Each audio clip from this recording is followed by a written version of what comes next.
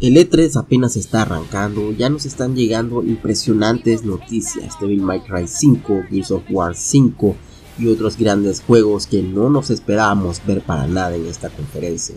Pero algo que tal vez ya se estaba asimilando desde hace tiempo era la llegada de Nier Automata al Xbox One y ya está más que confirmado que todos aquellos jugadores que tienen la consola van a poder disfrutarlo a partir del 26 de junio, o sea, estamos a 16 días de que salga solamente en formato digital, es una lástima tal vez esa parte, pero incluye también el DLC de, bueno, tiene un gran número, así que no lo voy a decir, pero es la de los coliseos, ya viene incluido, además de algunos skins de los pods que solamente podías conseguir en el día 1 para la edición de PlayStation 4.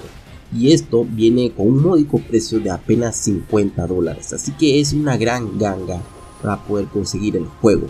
Y además va a estar optimizado para ser usado en el Xbox One X. Por lo que vamos a ver los gráficos de la mejor calidad posible ahora en el Xbox. Bueno, muchas felicidades a todos los usuarios y esperemos que sigamos disfrutando de más de cada vez más juegos para nuestras plataformas. Esperemos más anuncios, tal vez nos sale algo adicional en la conferencia del de Square Enix o la conferencia de Sony. Entonces vamos a estar al tanto de lo que está pasando. Suscríbete a mi canal para más contenido similar y nos vemos en la próxima.